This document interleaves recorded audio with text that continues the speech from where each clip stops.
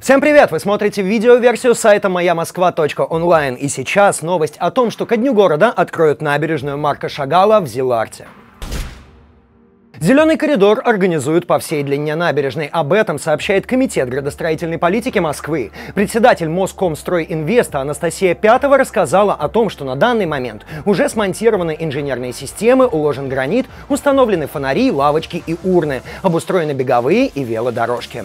Успешно прошел пробный запуск систем освещения. Сформировать общественное пространство на набережной планируется за счет озеленения. Вдоль беговой линии появятся 900 крупных деревьев. Беговую линию линию создадут по концепции развития бывшей промзоны ЗИЛ. Набережная Марка Шагала находится в Даниловском районе на юге Москвы, от третьего транспортного кольца до старого русла Москвы-реки.